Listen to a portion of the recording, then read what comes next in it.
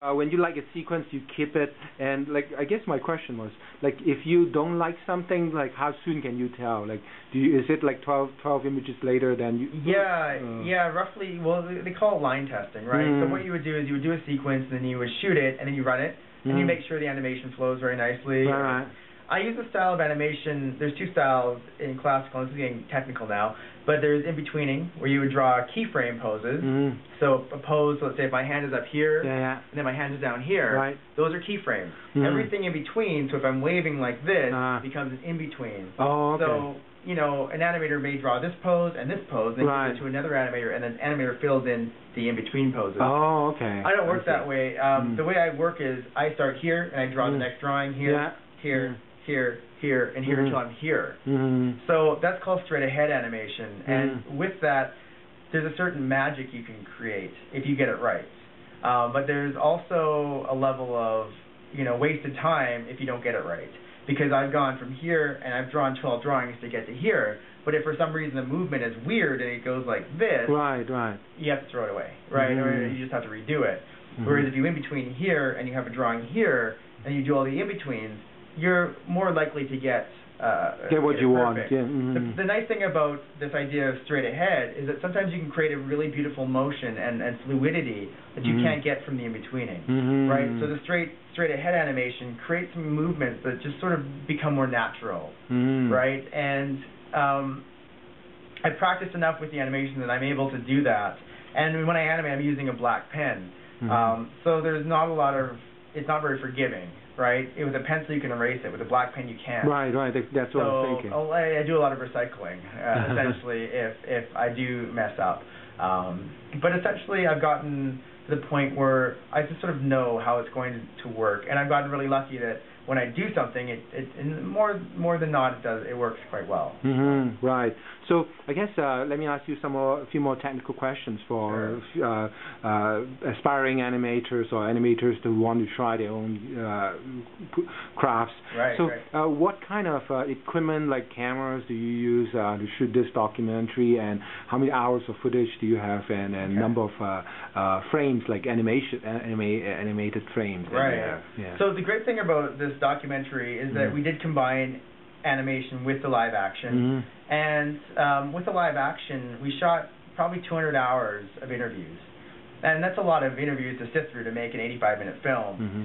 So um, with animation, you don't have that luxury to, to overdo animation because animation costs money and it yeah, takes time. Right. So you need to know exactly what you're doing with animation. Mm-hmm as you're doing it, and, mm. and you have to pre-plan that. Right. So you script it, uh, like you know. Like, sometimes you storyboard it. Storyboard it, or right, right. sometimes um, when I was doing some sequences, I would straight ahead animate it, like mm-hmm. I did with the yellow sticky notes. Mm-hmm. But I had it. It is always up here. It's always in my head mm-hmm. what I'm doing and where I'm going with it.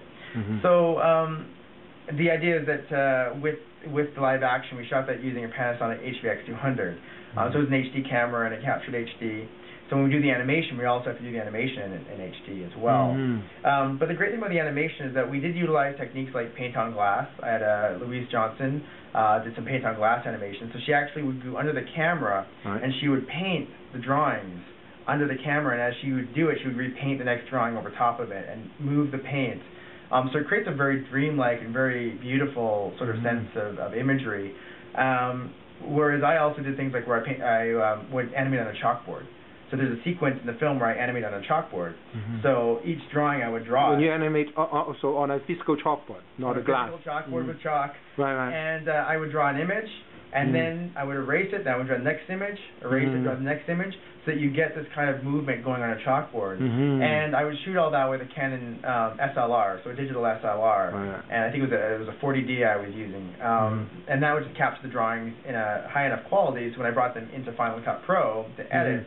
Um, you know, we're able to to get a really high quality image because essentially what you're taking is uh, a still image that's double the size of HD. So I would shoot quite large, mm-hmm. and that would allow us to be able to crop in and crop out if we needed mm-hmm. to. But uh, essentially, yeah, we we utilized as, as many different techniques of animation as we could in the documentary to give it um, a really kind of cool flavor and flair, mm-hmm. um, something that's not normally seen. If you watch a lot of documentaries, you see a lot of motion graphics or After Effects work. Right. Yeah. And computerized. Uh, computerized, and, and yeah. to me, it's just it's, it's almost too slick. It's almost Mhm. too clean. mhm. Um, I like a level of art, artistry when I when I animate and when I Mhm. create, and you know, for me, you know, I like the idea that it can be different styles. It can be a, a sort of a, a candy shop or Mhm. an eclectic mix of animation as opposed to one slick style. Mhm. And uh, that's happened to work for me in this film. Um, next film I make, it may be a different story, but uh, it sort of worked for me this time around, and I definitely work on it again. Right. So final question. Uh, Sure. So uh, Jeff,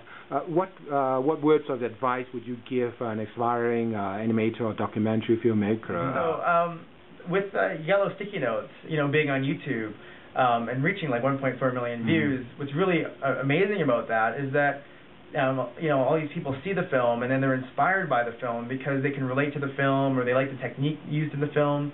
And so I get a lot of teenagers um, sort of emailing me or messaging me and asking me, well, how did you do that? I want to I want to become an animator. I want to take animation as a career.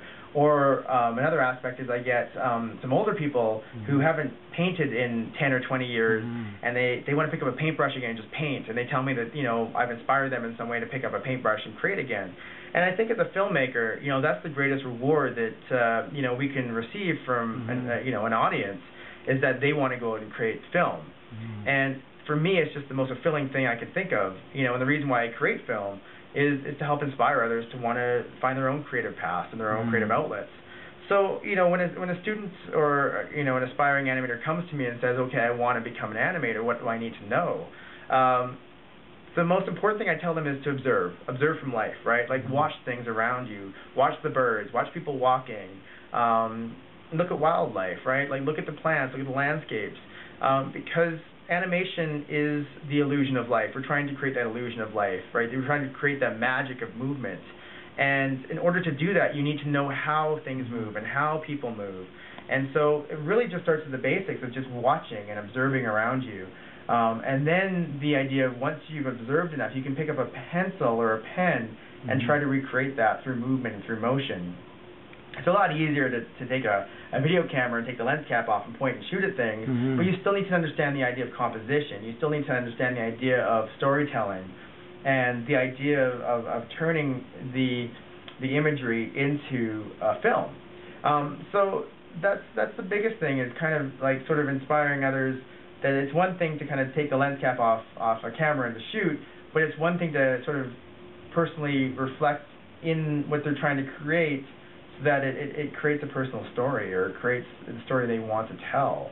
And whether that be through animation or whether that be through um, you know filmmaking, narrative, Mhm. live action, um, is really up to the, the person. Mhm. But I think just for me, just the idea that you know, a, in any way my work can inspire others to want to Mhm. create is is really what I aspire to as a filmmaker.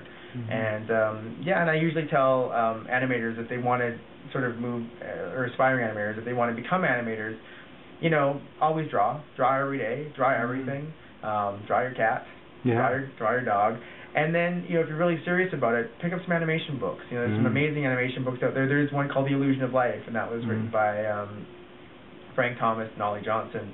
Um, and uh, that that one's you know a bible of animation essentially. Mhm. And read through that. You know, understand how animation has been made throughout the years. Not, the concepts haven't changed, right? You know, people are still making animation the same way they made it 100 years ago, right? You know, one Mhm. frame at a time.